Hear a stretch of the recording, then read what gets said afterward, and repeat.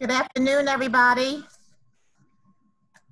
My name is Celeste Collins. I'm the Chief of People and Inclusion here at PHMC, and welcome. Thank you all for joining us this, this afternoon for PHMC's tribute and celebration of Black Music Month. You are in for a treat this afternoon. For the next hour, we're going to pay a tribute to Black music, Philadelphia style.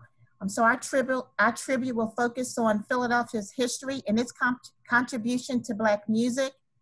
In no way, and we recognize that we can't cover, cover this wealth of information in an hour, but we're going to do our very best to walk you through um, Philadelphia's roots to Black Music Month. And um, not only will we do a tribute, but it's also an education um, to the, of the significance of Philadelphia and Black Music Month. So I'm honored um, to have Tiffany Bacon, our very own employee who has roots to Philadelphia, who has roots to Black radio, who is currently in Black radio, to lead us in this important discussion um, and tribute. Let me tell you a little about Tiffany. Um, Tiffany Bacon is an actor, a radio personality, a health educator. That's right, she's an health educator for PHMC. She's a fashion and costume designer. She began her career in radio in 1990 while attending Temple University. The, um, she worked at the radio station there. Um, she worked at Power 99, a, a, still very popular radio station here in Philadelphia um, for many years and is now in her 12th year at Radio 1 where she can be heard on hip hop 103.9 and 100. Um, R&B. So it is my honor and pleasure that Tiffany's going to lead us in this discussion. And like I said, I know we can't cover all that we want to cover in an hour. So beyond today, Tiffany is going to lead other discussions and conversations around um, Black radio and just discussions overall. So I am honored. It is my pleasure. Um, I'm going to drop the mic and give it to Tiffany in a moment. Just want to give you some housekeeping rules, if you will. Um, you'll be able to um, make comments and ask questions. So for the next hour, the program that Tiffany has put together, and she put together this program designed for PHMC, um, Philadelphia style. So for the next hour, Tiffany's going to walk us through the program and she's agreed to stay on for a few minutes beyond to answer questions and respond to your comments and just play a little more of the Philadelphia sound. So with that said, um, Tiffany, thank you for um, willing and just being being who you are and agreeing to do this for us today. So um, I'm gonna drop the mic. And also Tiffany is with her co, one of her DJs from the station, um, DJ Tactics is joining us as well. So it's the real deal. Thank you, Tiffany. Take it away. All right, thanks. Uh, I'm I'm listen, this is my passion right here. I love music. I love talking about music. I love sharing about music. I'm a native North Philadelphian, so yeah, we have a lot of rich history, and I'll do my best to get to as much of it as possible. Um, let me share my screen here just to give you what our focus is for today. So today it is all about Philly black music from classic to neo soul. So if you don't know what neo soul is, I will explain that a little later on. But first, we want to talk about this month uh, that we're in. I want to give you an overview of what we're talking about today.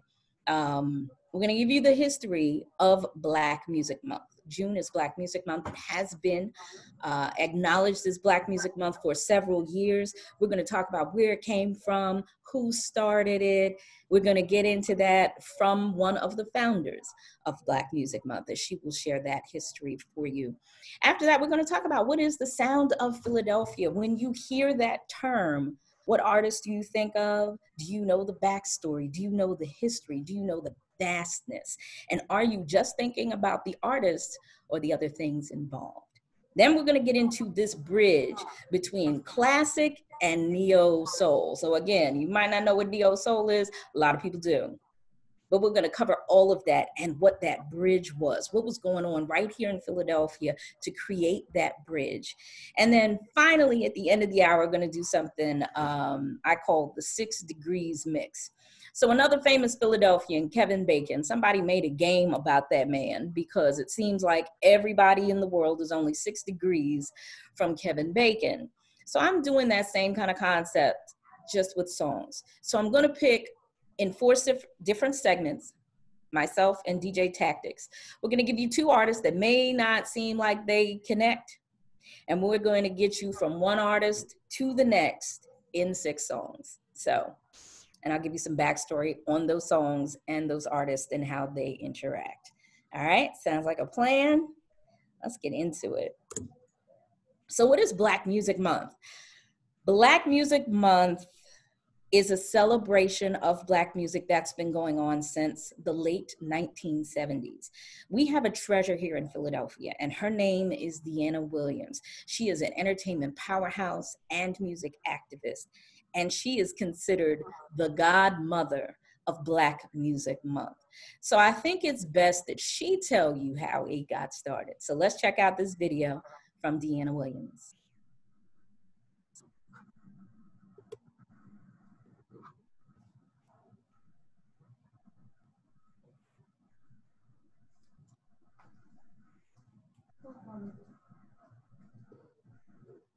I know they're pulling up the video right now.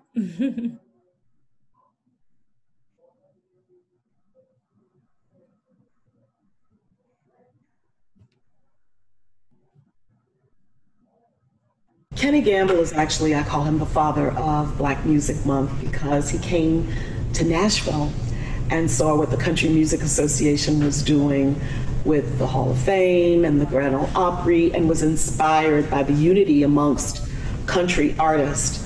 And after that visit, he came back to Philadelphia and along with a few other people decided to start the Black Music Association to kind of mirror what the CMAs were doing. And uh, I was involved on the local level um, in the local Philadelphia chapter. Chapters were created around the country. Uh, and because uh, Gamble and I have worked together on so many par- projects, um, I worked very actively to get June Black Music Month recognized in Congress and by President Bill Clinton.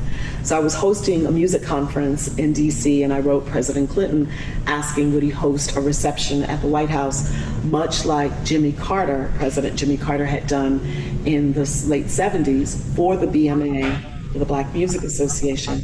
And Clinton's people said, Oh, we see where Carter had done this reception, but he did not sign the presidential proclamation. So why don't you go get some legislation and then come back to the White House? Oh, okay. I was shocked to hear that when I called Gamble and told him. He was surprised as well. But I spent the next few years of my life lobbying senators, congressmen, writing um, an editorial in Billboard, uh, just what I call a high level of music activism, where I was in people's faces constantly saying, Black music is more than feel good. It's more than snapping your finger, bobbing your head, dancing. It is a multi billion dollar industry, and we don't tend to think of it that way, but that's what it is. It's one of America's greatest exports around the world. And so I was successful with the assistance of Congressman Chaka Fattah of, of Pennsylvania, Philadelphia. Uh, took a minute, but we got the legislation passed that said June is Black Music Month. And then I was invited to the White House for a private meeting with President Bill Clinton, and that was pretty heady. And this all was on the strength of me writing a very passionate letter about my belief in Black music and I say black music equals American music. So I'm identifying it by the group of people who have created it, but it is indigenous to the United States of America. So it is one of America's greatest creations that has come from the wellspring of the black experience. And it's music for the world, but for everybody, but it was created by black people. Gospel, blues, jazz, you name it, rock, rock music. You know, last year we honored Little Richard. He's one of the architects of rock music, period. You know, so um, Mick Jagger knows it, so does Eric Clapton. Um, many of the British rockers, they cited Muddy Waters and others as their influences. And so that body of music, all genres, all variations of it, I love and I advocate for that. And so uh, after I got the legislation passed and met with President Clinton several times in the Oval Office, I felt like we were on our way. And somewhere around the world, there has been some recognition or celebration of June Black Music Month. So I call Kenny Gamble the father of Black Music Month. Others have called me the mother. I take it. I have nurtured this baby. I have breastfed. I've made food from scratch. I have raised this child and will continue to do until I have no breath in me. Right. Thank you for that. Deanna Williams is, um, as you heard her share, she is the godmother of Black Music Month, and I'm happy to call her a mentor. She has been doing this thing for such a long time. uh, she has been a mentor to me and other media uh, professionals here in Philadelphia. She serves as a media coach. So new artists and and and artists who've been out there for a while who need some coaching on how to deal with the media and present themselves in the best light, she helps them. She is also an event producer. If you know anything about the Marian Anderson Awards, Deanna Williams is the co-producer of this gala event that happens every year. It celebrates um, excellence in music. She's curated the celebration of Berry Gordy, John Bon Jovi, Wynton Marsalis, Patti LaBelle, Gamble and Huff, and Kool and the Gang, which was their most recent celebration back in October. And if you look at the screen here, this is a picture of Deanna. She referenced a reception that was held by Jimmy Carter um, for Black Music Month, and that is her in the middle of that reception on the lawn of the White House. So she mentioned Gamble and Huff. And when you say the words, the sound of Philadelphia, it's hard not to think of Kenny Gamble and Leon Huff. They are basically the architects of this sound. But you can't just think about these guys. You also have to consider the artists because they're the ones you hear on the radio. And who's behind the artist? The musicians, the writers, the studio, all of those things come together to create this unique sound that we have that we can be proud of that comes out of the city of brotherly love and sisterly affection. By the way, it's Deanna Williams who now has our new tagline coined brotherly love and sisterly affection because we're not going to leave the sisters out anymore. So let's take a look at these three elements of the sound of Philadelphia. It's the label. Philly International Records was founded in 1971 by Kenny Gamble and Leon Huff. In their heyday, they earned 175 gold and platinum albums. 175. Highly influential music. You heard Deanna mention um, how British rockers other musicians from around the country and around the world have been influenced by what we've been doing here since the late 1960s. When you think of the sound of Philadelphia, you think of the artists.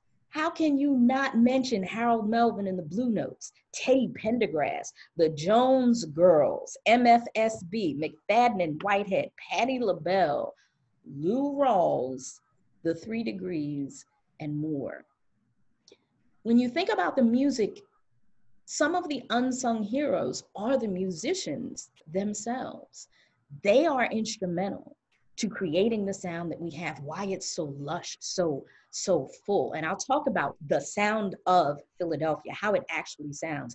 But you have the writers, you have the producers, the engineers who knew exactly how to place the mic to get the best sound out of that drum, uh, the best sound out of the keys, the best sound out of the strings. So let's start. The message in the music. Long before Gamble and Huff were music moguls, they were actually artists. Oh, let me go back. Moving ahead of myself. They were artists. In fact, uh, Kenny Gamble was a singer. Leon Huff was a pianist. And they got together and they became a writing dynamic duo. They created a lot of great music for Dusty Springfield, for Wilson Pickett, for the Intruders. And then they got together with a guy um, who worked with Kenny Gamble before he met with Leon Huff. They got with a guy and they penned this song for Dee Dee Warwick, sister to Dionne. They released the song in 1966. And then, don't you know, Motown got a hold of it and it became a smash hit. That song was I'm Gonna Make You Love Me, which was recorded by Diana Ross and the Supremes. A lot of times you hear the Motown sound, you don't ever think that there's a Philly connection, but with that song, there definitely was a Philly connection. Um, Philly International Records was often compared to Motown. There are musicians who were a part of the Philly International machine who described the Philadelphia sound as funk in a tuxedo. Think about that imagery for a second. I'll give you an example of what that means in a minute. One other thing that was very important, especially to Kenny Gamble, was the political activism in the music. There was always an element of Black pride, of self determination. Um, you can hear it in tracks like Am I Black Enough for You? We played that in the beginning as you're walking in music as you were coming into the Zoom call.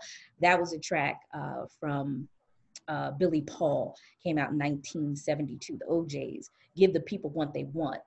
And then, long before there was We Are the World and other big, like all star records, Philly International did a song called Let's Clean Up the Ghetto. And it was like all of their major artists all on one song, including uh, Harold Melvin and the Blue Notes, including Lou Rawls, including many of the other artists that were on the label at that time. That song wasn't just a song, it was also a call to action. And many other cities got on board with the idea of we're just going to clean up our own area. We're going to take pride in our own area because we live here. This is our home. So we're going to work together to clean it up. We're not going to wait for the man. We're not going to wait for everybody else to come and do it for us. We're going to do it. So that was an early indication of the blending between the political activism and the music that was also present in the sound of Philadelphia. The other thing that Gamble and Huff did really well was they knew how to find the right talent to match with the songs. So you cannot think about this music without thinking of the richness of a voice like Lou Rawls, of a Teddy Pendergrass who started out playing drums. He was a drummer for Harold Melvin and the Blue Notes, but you know, Teddy P had a voice that would not be denied. So he ended up being the front runner after a while and then went out on his own and had a very successful solo career. McFadden and Whitehead and all the other artists, the O'Jays. the O'Jays have a string of hits that have been uh, covered and sampled for decades. All of these artists make up that sound of Philadelphia. One group who had already had a whole lot of hits and a whole lot of popularity, decided to come to Philly after they left their label. So in the mid 1970s, the Jacksons left Motown. They left without a brother. Jermaine decided to marry the boss's daughter. He stayed behind. Uh, Motown moved out to Los Angeles, and the Jacksons were free to do music on other labels. One of their first stops was Philadelphia. They produced two records here in the city on the Philly International record label. One was Going Places, and the other was the Jacksons. In fact, they had more hits from that album than they did their last album at Motown. Some of the hits were Enjoy Yourself, Show You the Way to Go, and Good Times. It's by far one of my favorite Jackson's albums. Uh, it's also the first time that you see Randy filling in filling in the the void that was left by Jermaine. Um, my on a personal note, my very first concert in my life was the Jacksons, and they were at the Valley Forge Music Fair. If you're old enough to know what that is and know where that where that was, it was out in Devon, PA. um, a circular amphitheater, and I got to see Michael in his like late teens, early 20s get up there and do his thing with his brothers, singing music that was created right here in Philadelphia. The power of the sound of Philadelphia. So let's get into this music part. So, what makes up the innards of TSOP? What makes up the innards of Philly International Records? First and foremost, we have to talk about the studio. Sigma Sound Studios was founded in 1968 by Joseph Tarsia, and it was one of the first studios in the United States that offered a 24 track recording. So that was revolutionary for the time. Um, they had session players. Those session players were often known as MFSB mother, father, sister, brother. There were more than 30 musicians, and I'm talking about everything from the most in depth percussion to the string section. It is the string section and the percussive beats which really identifies the Philadelphia sound. So if you listen to those old Philly International records, some of which you just heard, um, that identifying sound is that percussive beat they didn't use straight chords. So one of the musicians was discussing the difference between Motown and Philly International. Motown would use pretty much straight, straight ahead chords with a four on the floor type beat. Philly International, not so much. They would use jazz chords or they would have a little bit more improvisation with the chords that they used and the orchestration behind it, the fullness of the sound. That's what makes Philly International Philly International. And that's what makes it the sound of Philadelphia. One of the other major portions of that sound was one of the main writers who penned so many hits. This brother right here, see him in the corner? His name is Thom Bell. He's a songwriter, arranger, and producer. He created hits upon hits upon hits. Let me read you some of the hits that this man had. Um, Did Not I Blow Your Mind This Time from the Delfonics. Stop, Look, Listen from the Stylistics. You Are Everything from the Stylistics, which Mary J. Blige sampled in one of her songs. Um, I'll Be Around, like almost that whole album from the Spinners, he wrote. Um, he even had sessions with Elton John, and you can look that up. It's the Thom Bell sessions, Elton John. Um, worked that out right here uh, in Philly. He wrote Silly for Deniece Williams. This man is a juggernaut. This man went to Dobbins in North Philadelphia. Thom Bell is one of the main reasons uh, for the sound of Philadelphia. He is one of the architects. So let's just get a listen to what that sound sounds like. So I was talking about the orchestration.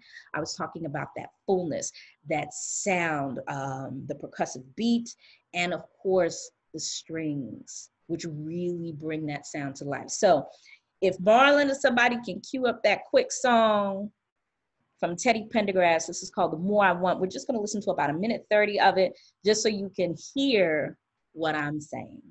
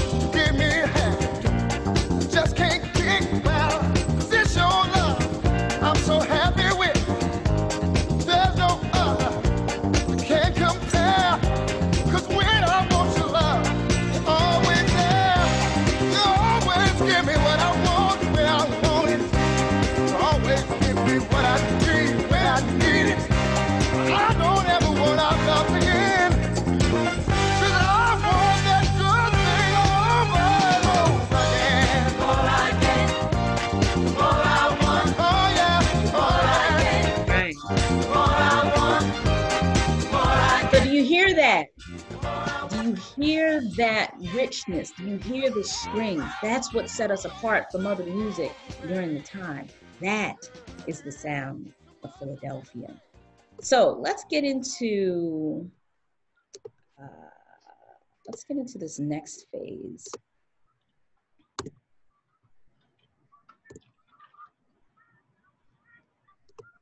So hopefully that is uh, that's a groove that maybe your mama might have been cleaning up the house to back in the day. I know it was one of my mom's cleaning up grooves. So let's talk really quickly about the changing of the guard. At the end of the 70s, disco had a natural death, which changed the landscape of music uh, for a lot of soul artists, for a lot of artists who were creating disco sounds. The increase in poverty and the influx of drugs and guns in our neighborhoods fertilized the seeds of a genre of Black music expression called hip hop. 1985, really interesting year. It was the year of the MOVE bombing. It was the year that the Philadelphia skyline was about to change forever. There was an ordinance or gentleman's agreement, as, as it was called, that no building could be taller than William Penn's hat at City Hall. 1985 changed all that. That is when ground broke on what is now Liberty Place. That is also the year that a West Philadelphia guy named Schoolly D released the song called PSK What Does It Mean? Some consider that the first gangster rap song. That song was influential to a lot of artists, including several on the West Coast, like NWA and Ice T. And then somewhere in 1985 at the 52nd Street YMCA, a couple of DJs got together for a party that proved very integral in the, the DJ scene in Philadelphia. These guys were Jazzy Jeff, Cash Money, and Grandmaster Nell, who I understand is like the uncle to Meek Mill. Those guys got together and had a throw down one day in 1985. That marked the changing of the guard. Of the guard. There was a new foundation forming in Philadelphia. By 1989, Chris Schwartz, who happened to be the manager of Schoolly Day, Schoolly D, got together with Joe Nicolo, uh, a, a studio owner and engineer, and they put together a joint project with Columbia Records. That project was Ruff House Records. Ruff House Records, we're going to talk about what they did. They brought hip hop to Philly. These are two guys from the suburbs. I believe they're from like Ardmore and Devon. They created this hip hop label which cranked out hits from Cypress Hill. By the way, that whole Cypress Hill album was recorded at Studio 4. Studio 4 used to be located on uh, between 3rd and 4th on Callowhill Street. So Cypress Hill was here in Philly recording their album. They also put out the score, the Fugees. We all know that the Fugees blew up. That was a Ruff House record. They were responsible for Kris Kross and other big artist at the time. Now, what else was going on in Philly around that time? Not far from Studio 4 was the studio. A guy by the name of Larry Gold, who is a former MFSB man, he was a session player uh, for Philly International Records, he set up his own studio. That was on the 400 block of North 7th Street. Many artists came through there to create what became the new sound of Philadelphia. Artists like James Poyser, he created his Axis Music Group with one of his buddies, Vikter Duplaix, who's a, a performer and a DJ. They created the Axis Music Group. While Ruff House Records decided to move back out to the suburbs, that space was taken over by Jazzy Jeff, and he created a touch of jazz those elements became the foundation for neo soul. So what is neo soul? I promise you, if you ask any of the any of these artists on the screen, they'll probably tell you there is no such thing as neo soul. Neo soul is basically a term that we in the media and record companies created to identify a sound and to sell records. But the artists themselves, they just say, we're creating soul music. But to us in the industry, it's a new version of this classic soul. There's a throwback to the 70s in the dress, in the orchestration, in the way that the hits were cranked out. This is the beginning of neo soul. Here are some of the artists, many of whom are from Philly. And if they're not from Philly, they were in Philly for some time to record some music.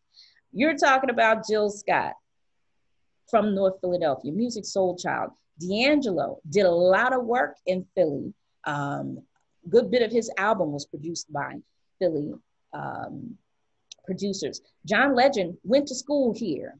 He went to the University of Penn when he was starting his early career. Jaguar Wright, Kindred the Family Soul, uh, Urban Hang Suite. Now, he Maxwell didn't record in Philly, but he was a big part of that movement. So let's talk about the Sound of Philadelphia, Chapter Two. When you talk about a touch of jazz, that was Jazzy Jeff's baby. He brought together a whole group of talented producers. Those guys were Andre Harris, Vidal Davis, Carvin Haggins, Darren Henson, Ivan Barrios, James Poyser, Keith Pelzer, and more. I'll talk a little bit more about the hits that these guys created, but they sowed the seeds of what is now considered neo soul. Then you had this group called the Soulquarians, which were basically artists that had their own music, their own thing going on, but they equally collaborated on each other's projects. You see their picture right there. The Soulquarians included Erykah Badu, Mos Def, Talib Kweli, J Dilla, uh, Questlove, D'Angelo, Bilal, and more. Yep, I'm missing one person there. I can't see the face. the Axis Music Group, again, I mentioned that was a foundation of James Poyser and Vikter Duplaix. James Poyser is a keyboardist. He's a he's a multidisciplined musician, and he is also now part of the Roots crew. And we all know what the Roots doing. They're doing everything. So in this changing of the guard, Dre and Vidal came out of the Touch Jazz house Andre Harris, Vidal Davis, they're known for producing hits for Jill Scott, Glenn Lewis, Ciara's O, Usher's Caught Up, Chris Brown's Yo, Excuse Me Miss. Yeah, these guys from Philly are behind those. They even produced major tracks for Alicia Keys, Michael Jackson, and Destiny's Child. Carvin and Ivan, they created Karma Productions, also out of the house of A Touch of Jazz. They wrote songs for Jazmine Sullivan, Jill Scott, Musiq Soulchild, Justin Timberlake. Yes, Justin Timberlake did come to Philly to work with them and recorded here um, in our studios. Let us see Raheem DeVaughn, Floetry, Rick Ross, and more. James Poyser and Vikter Duplaix. Uh, I gave you a little bit about James, but he's also created music for Erykah Badu, Lauryn Hill, for Mariah Carey, The Roots, and D'Angelo, while Vikter has worked with Jamiroquai, Michelle and Meshell Ndegeocello, Incognito, and more. So I gave you all that background. How do we get from classic soul to neo soul? So I went a little overtime, but we're gonna start this mix. Let me see if my, my DJ, put your, uh, I'm going to bring myself down here so I don't have that feedback situation. DJ Tactics, he's my DJ, my buddy. We work at Radio One together. So this is what we call the six degrees mix. I'm going to get you from one artist to the next in six songs. So Tactics, can we just see you real quick before we get into the mix and let the folks enjoy what we have for them this afternoon? How do I find me? Can you see your face? Oh, just start video. There it is. I see you there. There you go. Hey, Tactics. Hey, y'all. Hey, everybody. All right, I think I can hear you now. I feel like I'm in that commercial. Can you hear me? You hear me good? Now? I can hear you. All right, All right, so this is the Six Degrees Mix, y'all. I hope you enjoy it. Follow the logic. See if you can. I'll give you all the background on this, but this is mix number one. I'm going to get you from Kool and the Gang to Jill Scott in six songs. Let's hear it and I'll break it down. Let's go, Tactics.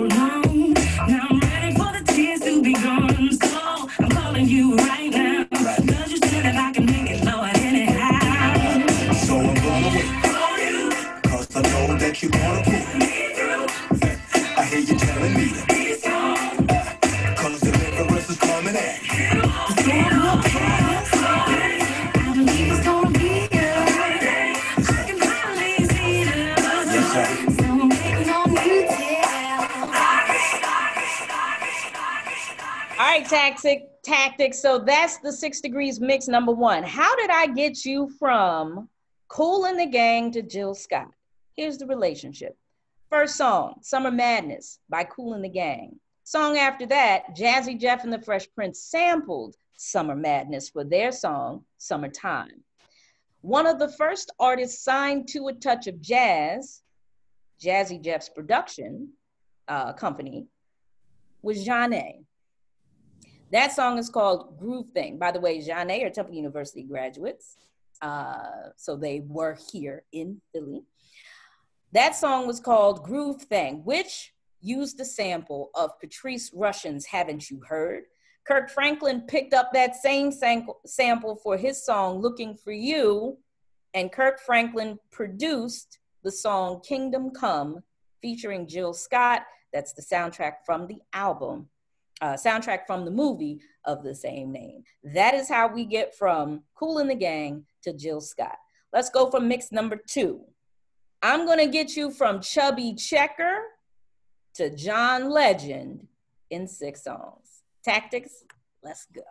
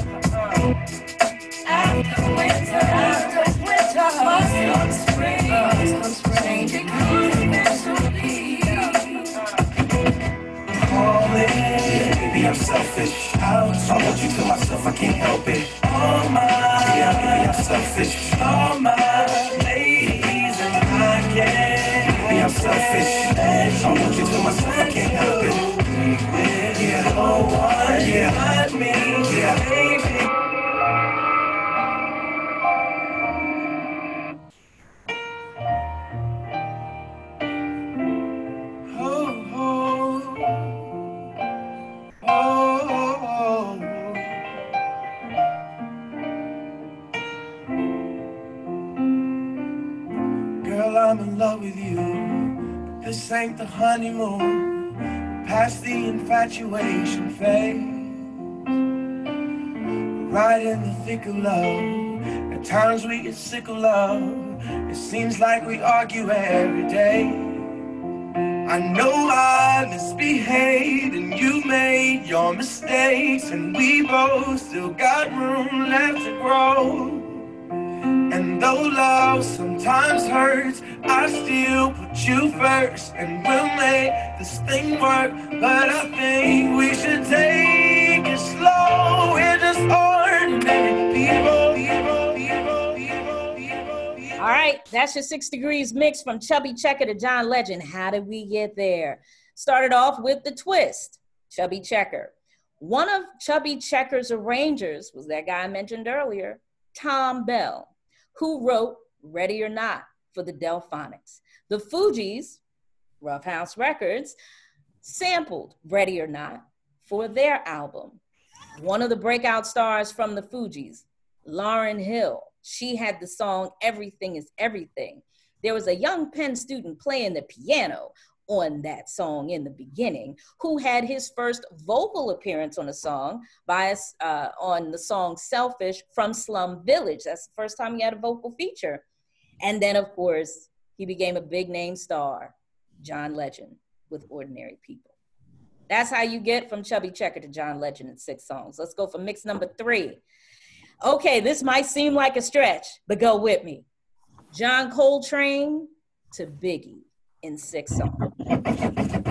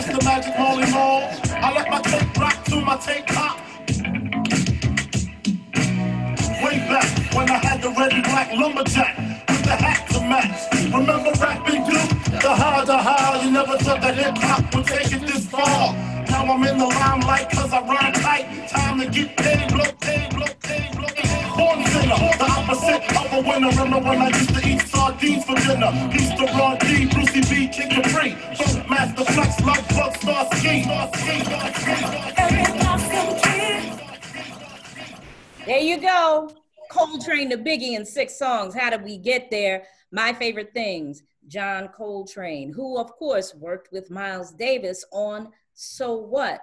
Miles Davis had a young percussionist working with him and a guitarist. Uh, the percussionist's name was James Forman, who changed his last name to Mtume, uh, working with a guy named Reggie Lucas on guitar. They penned a hit for Stephanie Mills called I Never Knew Love Like This. Then they decided to form a group simply called Mtume, which gave you Juicy Fruit, which Puffy sampled for Biggie's Juicy. That's your six degrees. Our last mix for today, our final mix uh, in our presentation. Roll with me on this, y'all. I'm gonna get from David Bowie to Musiq Soulchild in six songs. Tactics, let's go.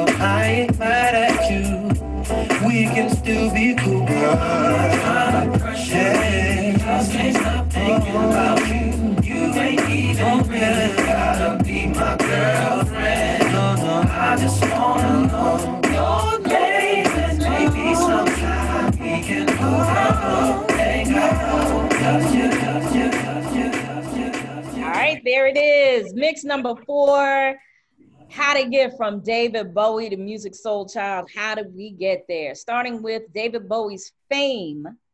That album was recorded right here in Philadelphia at Sigma Sound Studios. One of David Bowie's background singers was Luther Vandross, who was also a featured singer for the group Change. You heard the song Glow of Love, which Janet Jackson sampled for her song All for You. On the same album as All for You was Doesn't Really Matter. Doesn't Really Matter also appeared on the Nutty Professor 2 soundtrack with a young man from Philadelphia whose name was Musiq. Just Friends was also on that soundtrack. Uh, that song was produced by Carvin Haggins and Ivan Barrios for a touch of jazz, taking you all the way back around to the Ruff House Records that we mentioned before. That is your six degrees mix. DJ Tactics, thank you. He is at Radio One right now. Um, glad you guys enjoyed the mix. As you continue um, to enjoy and celebrate Black music, remember that it is vast and all roads lead to and through Philly one way or another. So let's continue to celebrate our music. Thank you. We're not quite done yet, Tiffany. So Tiffany's going to hang out with us for a few minutes. Um, she's agreed to. So all of you that can hang out with us, um, Marlon's going to pose some of the questions that came up through, uh, you know, through her presentation, and then we'll end with um, thanking um, thanking Tiffany in the right way. Um, but I think we have a, a few comment, many, many, many comments, and many. Okay. I'll hand the mic over to Marlon. Awesome. Thanks, Celeste. Yeah, to Celeste's point, many, many comments. People are loving it. Can you feel the virtual applause? it's happening. It's happening. Um, so thank you, Tiffany. We got uh you educated us. You took us to school and you made us dance at the same time. And so we have just a couple questions. Um, and before we dive deep into some of the, the, the very specific musical questions, I want to ask you um, just some questions about you, first and foremost, um, because you certainly demonstrated your expertise, your knowledge, and your passion of, of music, in particular music in Philadelphia. So the first question is, how did you get into radio? And it's two part. And, and what was it that drew you to a career in radio? Oh, interesting. Uh, I'll keep it brief. I was a kid that liked to talk a lot to the point where I got on my mom's nerves. So uh, when I was six, she brought me a tape recorder and she said, Here, talk to this. So I literally would walk around the house talking into a tape recorder all day long, um, making sketches, uh, recording Saturday Night Live. And I was too young to be up watching that, but I did. But I would record like Gilda Radner and all those folks and retell their stories. So by the time I got to college, I knew I wanted a career in media, um, but I thought I wanted to be a filmmaker. But they had some work study money, so I took a job at RTI. Somebody said, "Oh, you have a nice voice. You can should consider being on air." So I took them up on the challenge, and 30 years later, here I am. Awesome. Thank you. Thank you. This next question is, you know, you have you've been in radio to see um, tremendous changes, changes in the new influences. What's your perspective of the future of Black radio, and how does it remain relevant? wow Um, well, we have to get with the program in terms of follow the technology. You know, we uh, a lot of people don't listen to over the air radio as much as they used to, but we have these platforms here, you know, so we stream a lot of times we'll stream our content online to reach audiences who may not own a radio anymore. So there's still great music that's being produced. These artists need venues. They need uh, a place and space to be heard. So as long as people are creating music, then there will be a need for us. Um, and we just, you know, we also have to adapt and pivot with the way that technology is going. But there's always a need for radio because there's always music. Awesome. Thank you. Thank you. So back to Philly for a second. Um, what's Philadelphia's presence in black in the black music scene today? Um, and where do you think? What would you recommend? Where do aspiring artists go? Uh, that's a hard question because I'm not as deeply entrenched in the scene now as I once was. One of the things that, uh, you know, everything is virtual now, and this is before COVID. But one of the things that made the Philly International era big and made the neo soul movement big was that you had a wonderful marriage between radio and live performance venues. Music should be experienced. You know, we need to see folk do it. And those old school performers, they spent a lot of hours perfecting their craft. They weren't they weren't going to get on stage sounding terrible, looking terrible, steps not together. Everything was in sync. So you put in that much work, you need a place to be seen. So we don't have as many venues in Philly now. Again, this is even prior to COVID. You don't have as many venues to showcase these new artists um, and not as many you know uh, labels and whatnot label adjacent people that are currently around to pick up the folks that are here. Folks that are, are doing it now are finding other ways to do it. You know they're using their online mediums more than the in person but that makes a big difference when someone can actually say oh tuesday night i'm going to go see such and such at such and such club. That makes a big difference Yeah, I think I have one more here for you. Um, what does music mean to people of color? oh lord. Everything. It's it's uh it's it's expression of self. It's it's revolutionary. It's uh you know it's a way to get things done. Um the drum was a means of communication during slavery when we didn't have language to use we were separated um, from other people of our tribes um, it was a way to say, hey, this is the time to get to freedom. Uh, it's a clarion call. Uh, it's a stress reliever. Like since since the uprising and since the the shutdown, we have leaned on music to give us an elixir. We have leaned on music to kind of to help us deal with the emotions that we have around what's going on. That's why we clamor to Verzuz on Instagram to see our favorite artists get together and just like play their songs and you know we get some healing out of that um, we we we watch the DJs spin online you know tactics folks like tactics they're just out there like yo this helps you feel good um, there's a message in the music you know we see that with um, especially Gamble and Huff and other folks right now. There's a song that I wanted to upload, but I, I got too late in my preparation by Janelle Monáe called Hell You Talking About. And the whole song is just, hey, say these people's names, all these people who were killed uh, by police, all these people, all these black folks who uh, were murdered say their names and that's what the song is you know and it has this haunting beat so i encourage anybody to look it up so you can check that out um, but yeah, it's everything. Music is everything. There's said. one, Perfect. So Marlon, there's a question there about um, radio, where there is gospel um, radio now. Is does Radio One have a gospel presence today, Tiffany? Uh, we not on uh, over the air, but you can find praise online uh, or on an HD channel. So if you have HD radio, you can get it there. Um, our competitor station across the road at uh, they're not Clear Channel anymore. What are they? iHeart, technically iHeart. Yeah, so they have a new um, gospel channel. There's also Reach Gospel Radio that is around. Great. So you know you do have places to get Mhm. your fill of gospel music. Thank you. Thank you. So let's, um, an hour, an hour and 60 minutes, and we've been here for longer than that. I want to call out some of the, some of the comments that you should know as well as um, your partner there, um, DJ Tactics, around people at, just making comments that how you have made their afternoon.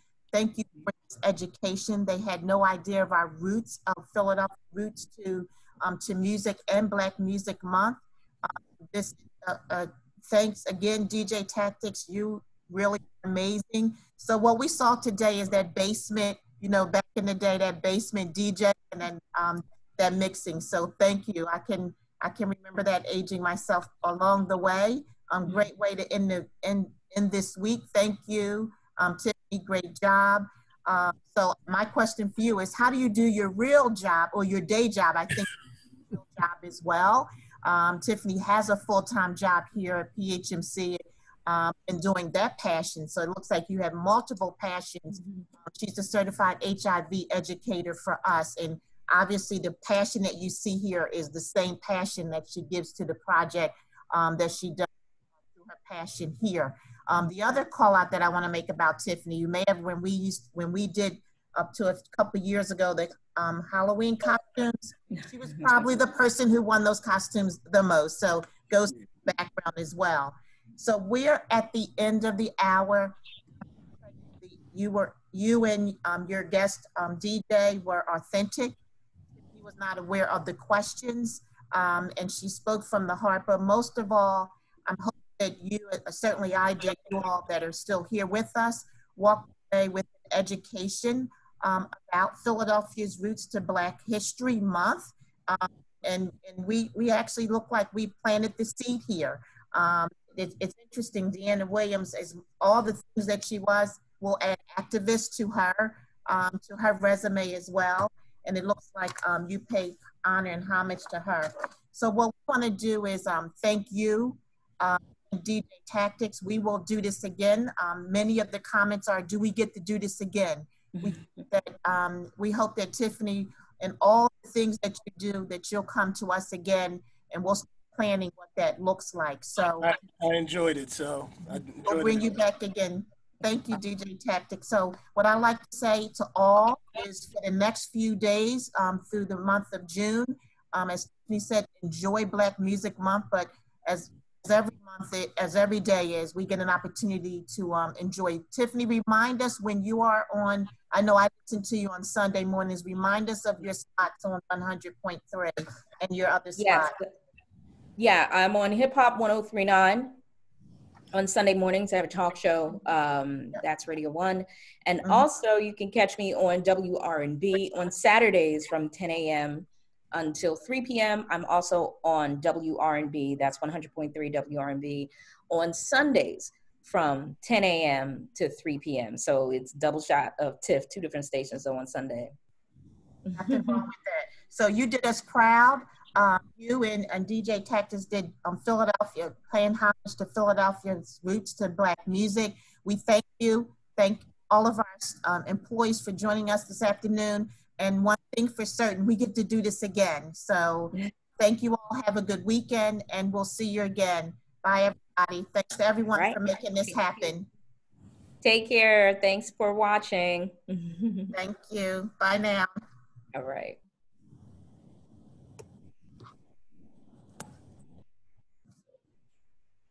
Um,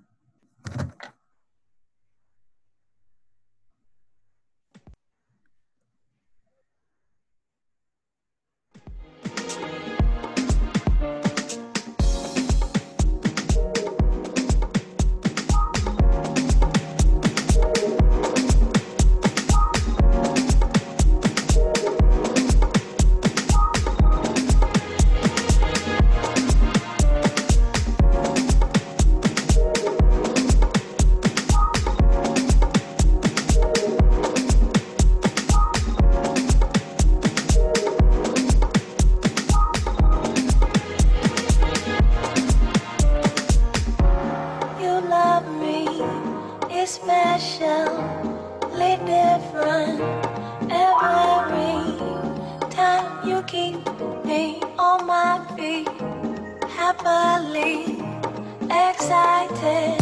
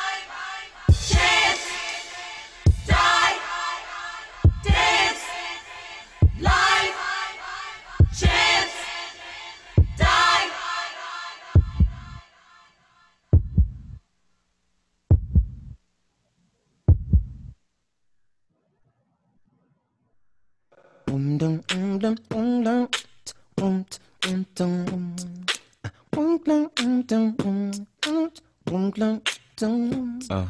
Mm.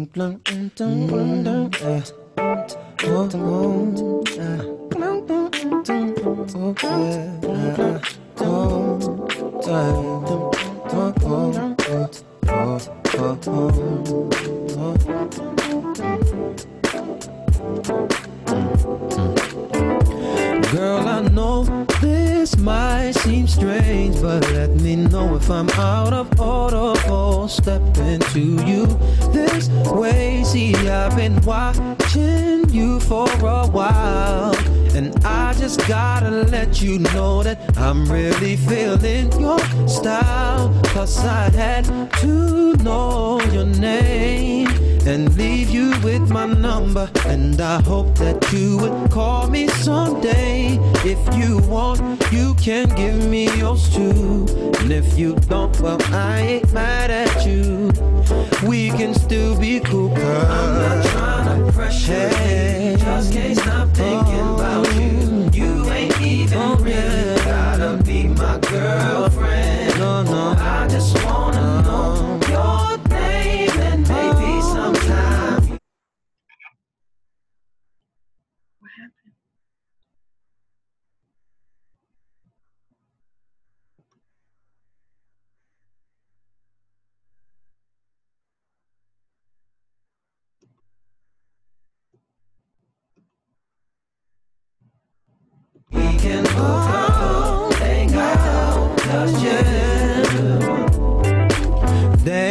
I'm surprised that you called. Cause the way you walked away, I thought I wasn't gonna see you no more. Since you didn't wanna give me your man, I thought that you were digging me and wasn't digging me. But anyway, what you doing tonight? I'll probably be with my peeps. If it's cool with you, maybe we'll swing by. And you can just chill. Or you can just chill with me. Long as you're comfortable and you feel secure when you're with me. Cause I'm not trying to pressure you. Just can't stop thinking about you. You ain't even oh. really gotta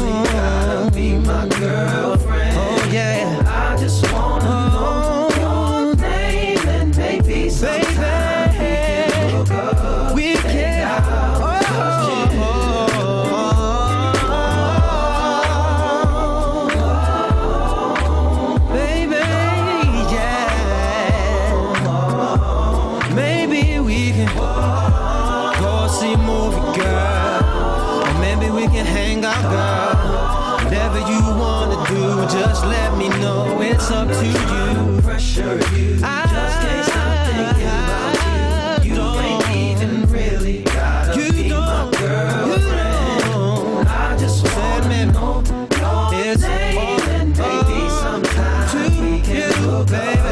Hang out, oh, just chill. Oh yeah. I'm not trying to pressure you. I'm just can't stop thinking about you. No, I